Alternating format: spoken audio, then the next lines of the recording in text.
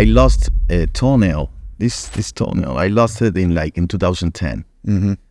You know, weight, you know, at the gym, boom, broke my nail, and then it never grew back again. Yeah.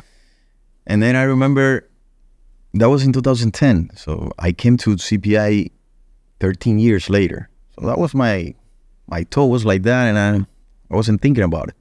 After taking my stem cell, NAD plus, all, all the stuff that you guys gave me, like one month later, I have a have a brand new nail on my Your toenail grew back. yeah, Wow. I mean something because I remember you guys telling me, okay, that's gonna be circulating on your blood like for one year, and then they're gonna fix everything that they found, something like that. No, and I go, okay, you don't feel anything, but I saw that, and for me it was crazy because I was, I wasn't taking anything else but stem cells, and so something good was happening in, in, in my body. I knew.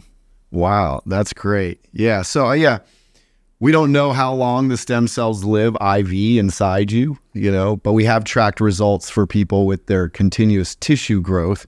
But to to grow a toenail when you didn't have a toenail, I, I would have never expected that to happen. I don't know if you've ever seen the pictures of the guy that cut his thumb off They told that me. we grew back. They were going to amputate his thumb. He was a motorcycle rider, got it caught in the motorcycle chain. He he he caught it on on Saturday, but he was coming to us on Monday, and he called, and he's like, "Hey, do you think you can do anything? They want to take they want to amputate my thumb today," and we're like, "I we have no idea if it'll work. We'll try. You know, what the worst thing that's going to happen is you're going to have to amputate it." And uh, his whole thumb grew back, and even not his whole nail like yours, but even part of his uh, thumbnail grew back. It took some time, you know. It wasn't like oh, it was stem cells, and a month later his his thumb grew back and reattached. You know, we we are willing to take the hard cases, but I always want to be honest with people and say, you know, like, I, you know, if we don't know, we're gonna say I don't know, because nothing works for everybody, right? That's true. And and there have been patients, you know, we've tried things, and and it didn't work, but at least we gave them an option. It's definitely worked for a lot more people than it didn't work. You know, you said you weren't walking for a year. Now you're walking. The other guy, they were gonna. I, I can't even imagine losing your thumb.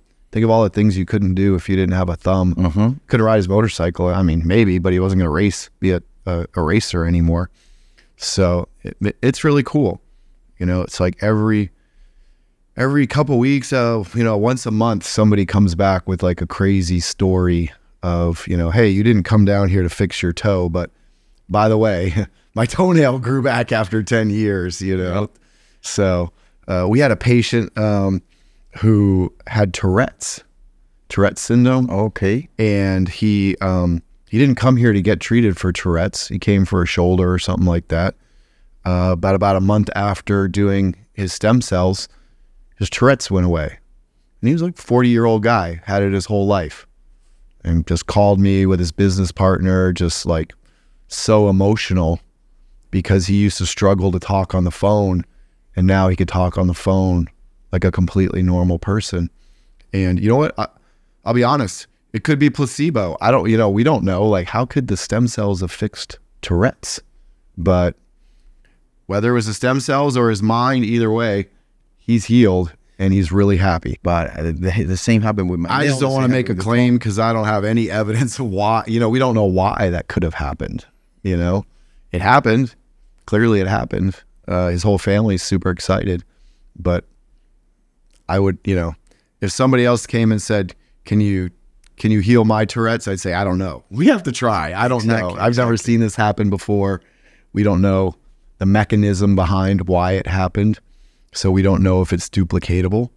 But for at least one person, it's completely changed him and his family and his business life.